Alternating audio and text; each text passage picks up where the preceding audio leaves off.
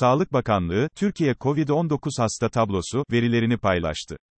Son 24 saatte yapılan 294.274 testte, 50.678 vaka ile 2.548 koronavirüs hastası tespit edildi. Bugün yaşamını yitiren 237 kişi ile toplam can kaybı da 33.939'a yükseldi.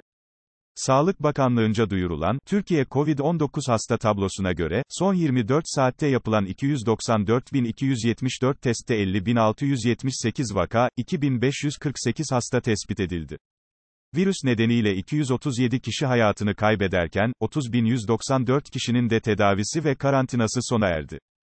Bugünkü verilerle toplam test sayısı 41.591.854, toplam vaka sayısı 3.849.011, toplam vefat sayısı 33.939, toplam ağır hasta sayısı 2.824, toplam iyileşen sayısı ise 3.331.411 oldu.